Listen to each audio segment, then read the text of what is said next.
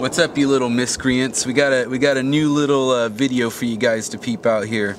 Uh, you know, some of you kids been asking like, you know, what do I do but my painter's touch cans? You know, I heard you can do some caps, blah blah blah. And I've seen some cool experiments with piggybacking and whatnot. Um, there's a basic technique also to use utilize New York fat caps as well, and uh, surprisingly, some people just can't figure it out. Uh, it's very easy, basically. Uh, what you're gonna do is uh, take uh, one of these New York fat caps right here, you know, classic New York fat cap. Your X-Acto knife that you got in your Art Primo stencil kit, of course. Borrow your dad's drill. You're gonna need a 7 64ths and a 1 8 drill bit.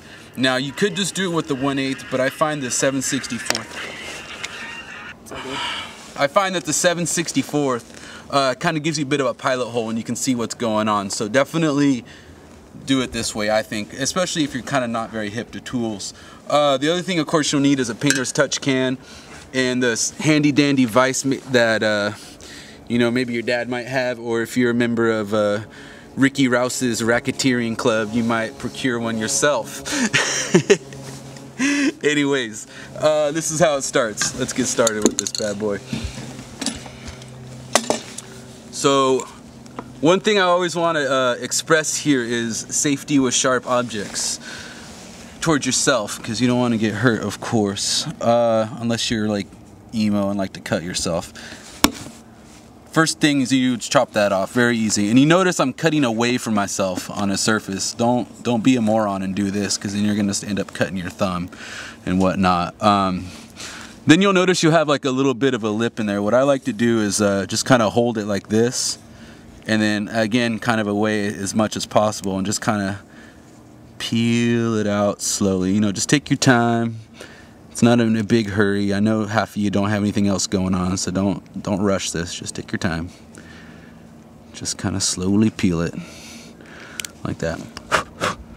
You know just try and get a nice clean cut. Get the excess off of there. Looking good looking good all right, I already got one in here posted, so let's get started. It's just like one of those cooking shows, you got everything already prepped.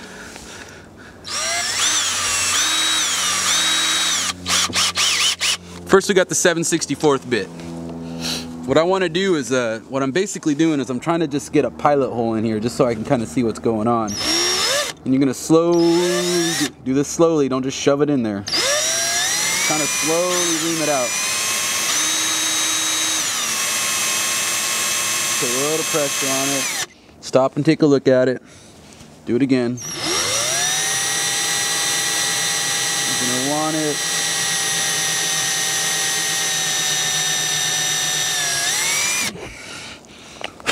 That's a good amount. What you want to do is uh, you don't want to get it past where the where this starts, okay? So just kind of eyeball it. You know, this is kind of where the art comes in, not the science. You don't want to get it past the black dot because what happens is if you shove a bunch of that plastic up behind there, it's not going to work, obviously. So now I got my pilot hole reamed out. Let's put that one eighth, one, one eighth of an inch bad boy in there. See how it works. So now is where you get into the, the real meat of things. That's it. You see that? It was very quick and easy. Just get just get just a little bit once you get just a little bit out of there pull it out real quick because then you're going too far take a look at it this one looks pretty good let me pull it out